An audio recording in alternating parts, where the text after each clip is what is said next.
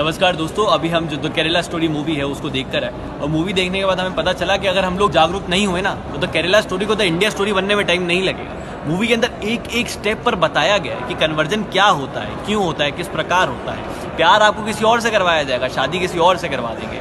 बोला ये, बोला जाएगा कि यहाँ भेज रहे हैं, भेज कहीं और देंगे। और जिस तरीके से उन्होंने एक एक फैक्ट को रखा है एक एक चीज़ को रखा है hats off to the director producer writer क्या मूवी बनाई है एक नंबर। ये मूवी टैक्स फ्री कर देनी चाहिए सरकार को, मेरी विनती है उनसे।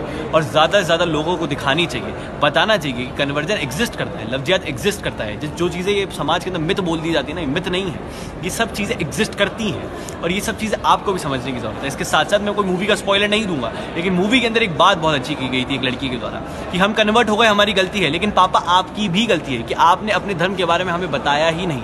और उसी, उसके कॉन्टेक्स्ट में ही मूवी के अंदर एक लड़की होती है, वो कन्वर्ट होने से बच जाती है। क्यों? क्योंकि उसको अपने धर्म के बारे में पता होता है तो अपने धर्म को भी जानिए, पहचानिए और ये मूवी देखने ज़रूर आइए। Again hats off to the director writer producer cast को एक एक बहुत अच्छी एक्टिंग करिए बहुत अच्छा बैकग्राउंड स्कोर है। पाँच में से पाँच स्टार है, मेरी तरफ़ से तो। चाहिए ज़रूर देखिए।